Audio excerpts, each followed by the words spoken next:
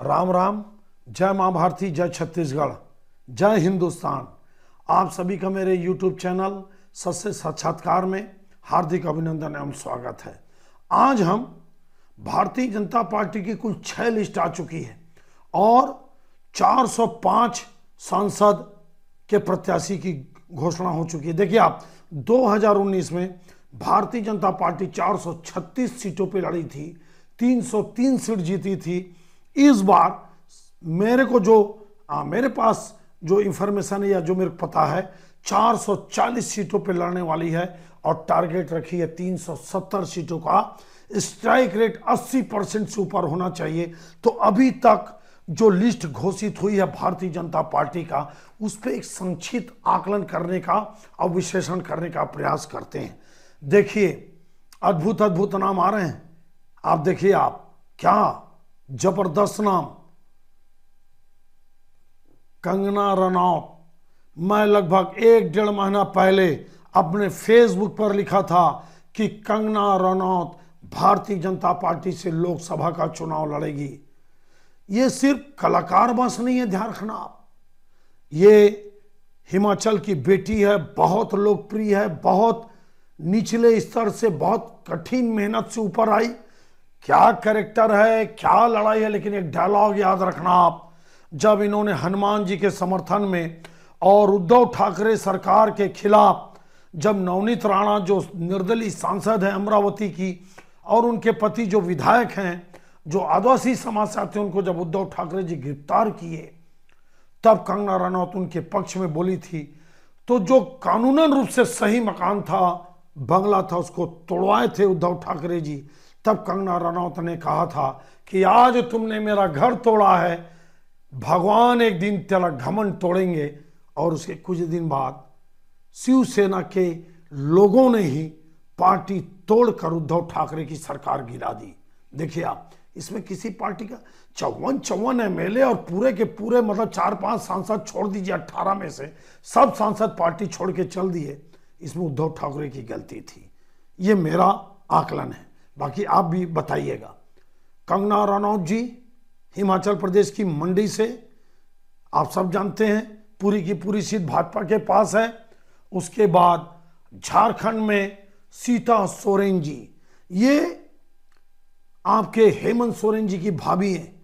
बड़ी धाकड़ महिला, ताकतवर महिला शिबू सोरेन की बहू हैं। दुमका से इनको टिकट दिया, जबकि प्रत्याशी सुनील सोरेन को टिकट दे चुकी थी, उनके टिकट को काट के आपके सीता सोरेन को झारखंड में दी। एक नई राजनीति का प्रादुर्भाव नया नया देखिए आप, जबकि वहाँ पे बाबूलाल मारांडी इतने लोकप्रिय नेता, आपके अर्जुन मुंडा इतने प्रभावशाली नेता, आपके दुबे जी जो गोंडा से चुनाव लड़ते हैं, आपके बड़े लोकप्रिय, बड़े धाकड़ नेता, आप बताइए इसके बाद भी भारतीय जनता पार्टी नए नए अच्छे लोगों को जोड़ रही है। चाहे पूरे देश में कितना ताकतवर हो, इससे सभी पार्टी को सीखना चाहिए।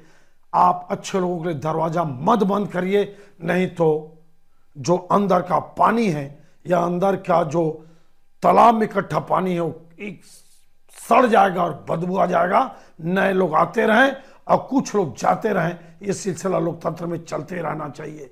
बसीरहाट जिस संदेश खाली की महिला के रेखा पात्रा जो आदिवासी समाज से आती है, उसके साथ रेप हुआ, उसके साथ महिला उत्पीड़न हुआ। सैकड़ों महिलाओं को रात रात भर रेप किया जाता था। किसके साथ? वो टीएमसी का नेता शेख जहाँ, उसके सिबू हाजरा उत्तम सरदार के लोगों के द्वारा। 2011 से ऐसे लोगों को वोट डालने नहीं दिया जाता था। ऐसे घास काटने वाली महिला को लोकसभा का टिकट दी। भारतीय जनता पार्टी ने उसी बसीरहाट इसी में संदेश खाली आता है। आप देखिए आप, उसके बाद कृष्णा नगर से राजमाता अमृता राय को टिकट दी। क्या प्रभावशाली हिंदुत्ववादी महिला संप्रभुता के साथ खड़े होने वाली मोहिता मोइया मित्रा के खिलाफ, जिसके खिलाफ भ्रष्टाचार का आरोप लगा, उसी तरह से आप देखिए आप कुरुक्षेत्र से साढ़े आठ बजे नवीन जिंदल जी दो दो बार के सांसद, इस्तीफे की घोषणा करते हो साढ़े आठ बजे टिकट मिलता है। क्यों? बहुत बड़े उद्योगपति, स्टील कारोबारी, आप अगर हमारे देश के उद्योगपति को चोर बोलोगे, डाकू बोलोगे, लुटेरा बोलोगे तो कौन उद्योगपति आपके साथ रहना चाहेगा? आप विदेशियों के उद्योगपति को देश में जमाना चाहते हो, मज़बूत करना चाहते हो ये उद्योगपति और देश की जनता समझती है एक करके सब आपको छोड़ेंगे जब आप अच्छे लोगों को, अच्छे उद्योगपति जिनके कारण देश का नाम, मान, सम्मान है, उनको चोर कहोगे, वो छोड़ते जाएँगे। हरियाणा में कांग्रेस की रीढ़ की हड्डी मानने वाला ये जिंदल परिवार आज भारतीय जनता पार्टी में शामिल हो गया। वायनाड से देखिए के सुरेंद्रन, ये पथानी मिट्टा क्षेत्र से चुनाव लड़े थे पिछला। शानदार केरल में भारतीय जनता पार्टी चुनाव लड़ने वाली है, क्योंकि आपका एंटोनी जी के बेटे, एक एंटोनी के बेटे, वो बीजेपी प्रवेश करके शानदार चुनाव लड़ रहे हैं। उसके बाद मंत्री चंद्रशेखर जी लड़ा, लड़ रहे हैं। राधा कृष्णन जी चुनाव लड़ रहे हैं।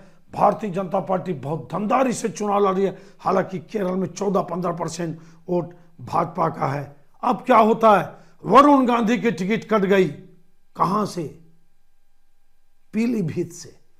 और कांग्रेस के एक बड़े नेता जितेंद्र प्रसाद के बेटा जतिन प्रसाद को, जो ब्राह्मण नेता के एक छवि माने जाते हैं, उनको टिकट दिया गया लेकिन मेनका गांधी अपने गौरव सम्मान के साथ आज भी चल रही हैं। वरुण गांधी जी पिछले कई साल से मोदी जी और भाजपा के खिलाफ बयान दे रहे हैं। ये तो टिकट कटना ही था, क्योंकि वो विचारधारा से अलग हो चुके हैं। अब आने वाला उनके कदम का इंतज़ार करिए। आनंद हेगड़े जी, इतने ताकतवर नेता, इनका बयान था कि बीजेपी 400 सीट जीतेगी और संविधान बदल दिया जाएगा। देखिए, संविधान की जो जो धाराएँ जो जो अनुसूचियाँ जो जो उसके महत्वपूर्ण, जो आज के जमाने में सही नहीं है, रोज उनकी का बदलाव हो रहा है। जो आज उचित नहीं है, सीआरपीसी तक बदले जा रहे हैं। दो दो ढाई ढाई सौ साल अंग्रेज़ के बनाए जो कानून है, वो बदले जा रहे हो तो बदला जाएगा। लेकिन उनका बयान का अर्थ गलत निकला तो उनका टिकट काटकर इतने लोकप्रिय नेता, वहाँ विश्वनाथ हेगड़े को टिकट दिया गया। अब उसी तरह से देखिए, बिहार में इतना ताकतवर नेता सोनी चौबे जी लगातार दो बार से जीत रहे हैं। सोनी चौबे जी का बक्सर से टिकट काट दिया गया। पाँच लाख वोट से जीते थे जयपुर से।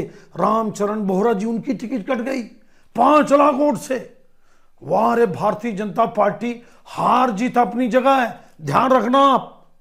लेकिन टिकट काटने का हिम्मत तो रखते ही है। टिकट तो काटते हैं और यही बदलाव और नए लोगों को मौका देना, ये एक बहुत बड़ा और भी हज़ारों कारण है।